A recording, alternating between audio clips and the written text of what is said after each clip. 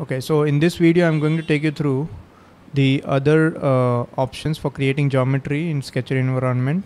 So we have seen rectangle already, a simple rectangle. Now we'll see profile.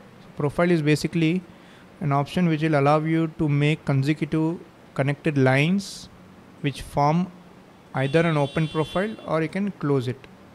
So it forms a closed profile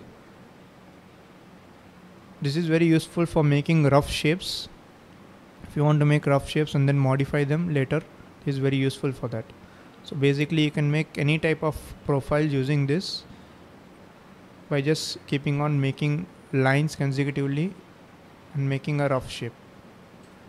The next is as we have seen already circle. So circle is you select the center first and then it expands and then you select one more point which establishes a circle so there are other ways to create the circle also like three point circle. So you click three points. You select three points.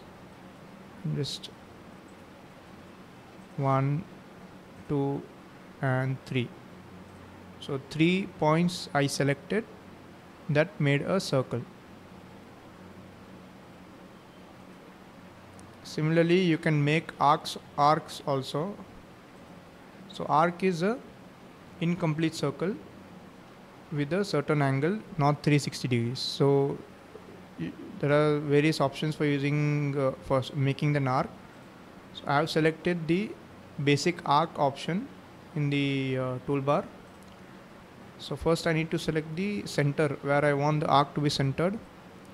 So it's going to show me a circle on how that uh, on which circle that arc is going to lie then when I click it once more it's going the circle is will disappear and the arc will start generating with respect to that circle. And then I should select to make the endpoint of that arc. So this is the basic arc.